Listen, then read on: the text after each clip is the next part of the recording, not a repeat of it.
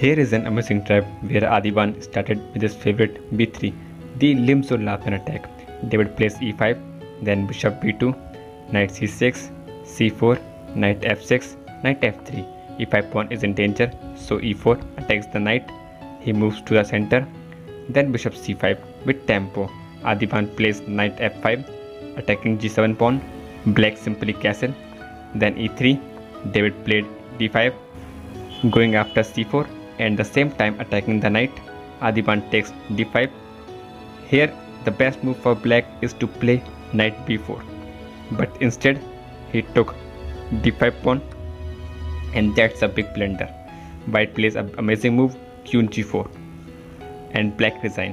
White is threatening a checkmate and there is no way to stop it. Even black plays g6. Knight s6 is a beautiful checkmate.